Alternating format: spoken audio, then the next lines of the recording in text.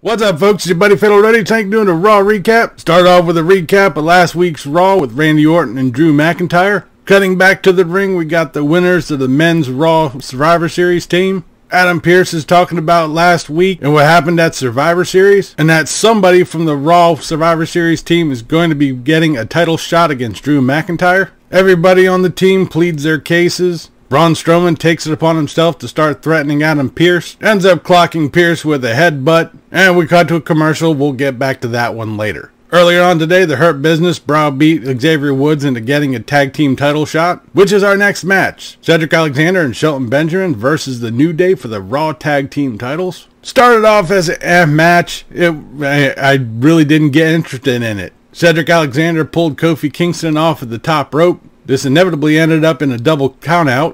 As the New Day are starting to go up the ramp, MVP gets on the microphone and browbeats him once again into getting into a match. So we restart the match once again. This time it was good. I liked it. It was a lot of action. Kofi Kingston tweaked his knee after going up over the top rope, but the New Day ended up pulling it out with Xavier Woods pulling off a sunset powerbomb on Shelton Benjamin to get the pin and retain their titles. Looks like third time's not the charms for the Hurt Business. Backstage, Adam Pearce was going to divulge what he was going to be doing with Drew McIntyre, as he called him Drew McInfart. Oops. But anyways, Bobby Lashley comes running up and he has some business to talk to him. They walk off. After a commercial, we go back to Adam Pearce and he's approached by Randy Orton. They go off and have a talk. Jesus Christ. Why don't we just, just do it all one time? No waste time. Come on. Backstage, Lana is on top of the world. She hints on possibly going after Asuka's belt. Okay, we cut back to Adam Pearce and we finally find out what the hell is going to be going on. There's going to be three matches going on. The winner of each match, next week there's going to be a triple threat match and that winner of that match is going to be facing Drew McIntyre.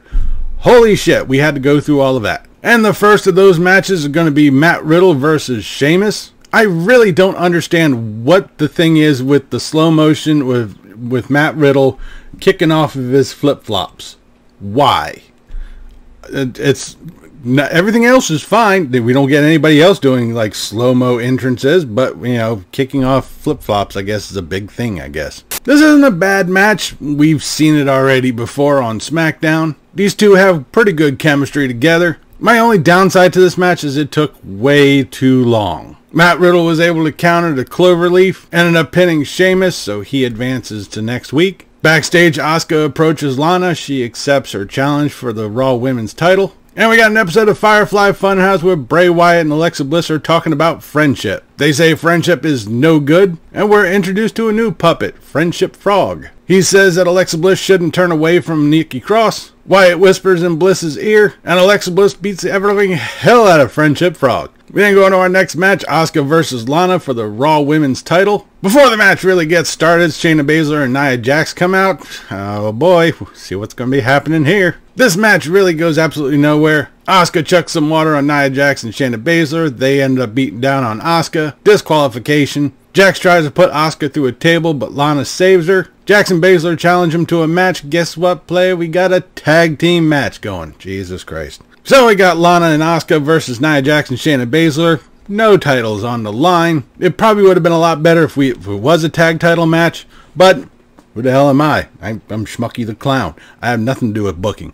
Anyways, and match, Lana gets worked over. She gets a tag onto Asuka. She starts beating everybody up. Stupid. Jackson and Lana are sitting there fighting on the outside. Shayna Baszler puts a coquina clutch on Lana. Totally forgets the fact that uh, Asuka's right behind her. She does a surprise roll up, gets the pin.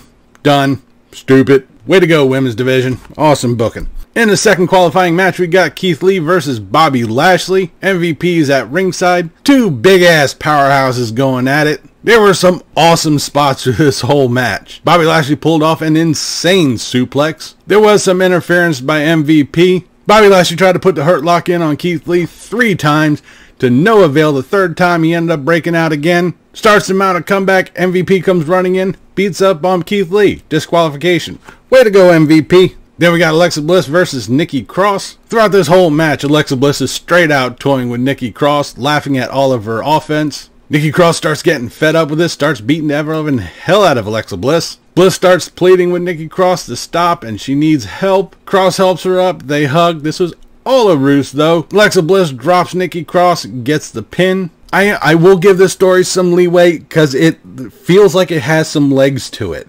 Um, I want to see where this goes. You know, there's some stories where it's like, okay, this is kind of stupid. Let's get it over with. Not this one. I, I honestly think there is a little there's there is something to get out of this. I know the whole probably going to be the whole redemption. Uh, you know, Nikki Cross turns Alexa Bliss back over. I'm pretty sure that's going to be the ending of it.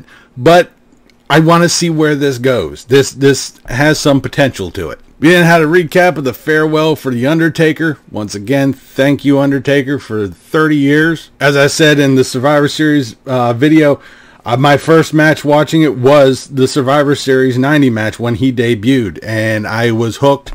Have the belt. Awesome. Love The Undertaker.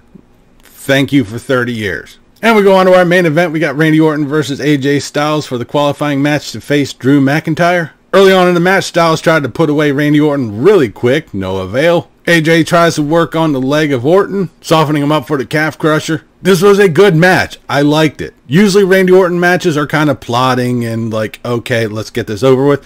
Not this one. I actually liked this match. It actually had a really good pace to it. Um, partway towards the end of the match, the red lights start flashing. Spooks Randy Orton. He jumps back into the ring. All of a sudden, lights go out. Randy Orton is sitting in the corner, and up from behind him pops up the Fiend, spooks him. Lights go back out. Fiend's gone. Randy Orton ends up hitting a phenomenal forearm.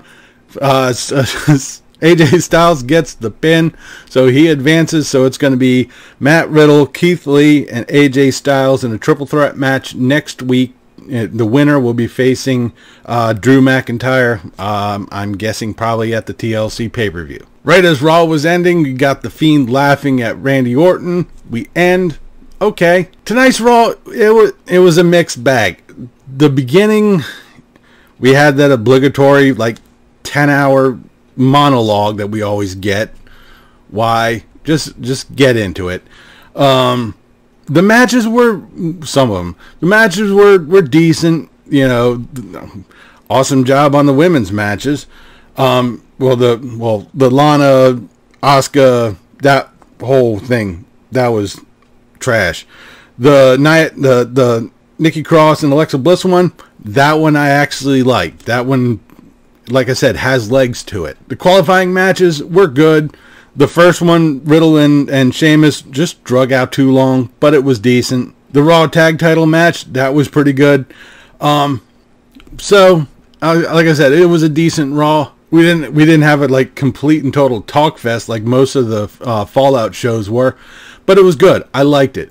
And that'll do it for this episode of Raw Recap. I'll be back later this week with the SmackDown review.